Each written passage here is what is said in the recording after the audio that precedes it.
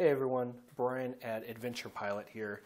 Uh, as some of you may know, we sent out an email about some iFly, ping for iFlies, um, and we had a lot of questions on how it works and how it connects and what kind of uh, data it displays on the 700. So I thought I'd do a quick video um, and just show how easy it is and what kind of information it displays.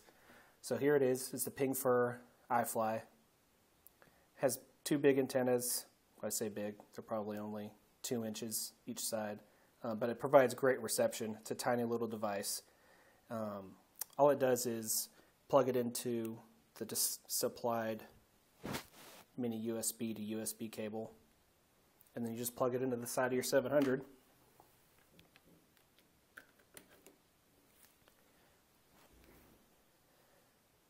So it powers it. It'll take it a second to connect.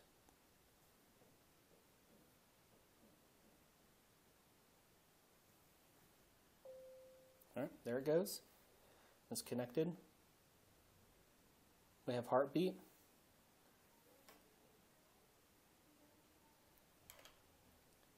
We'll just zoom in here.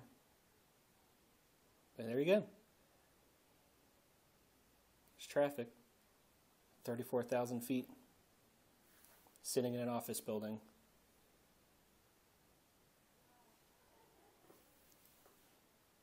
Also enable METARS and NEXRAD. So your weather comes up. Close that. Up.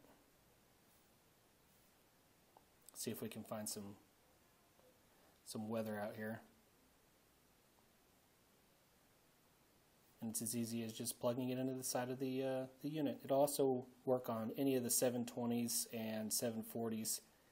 Um, you just won't be able to share the connection with anything else it also work on the 520 platform. So if you're interested, we have them on sale now for $135. Uh, just go to iflygps.com. Thanks.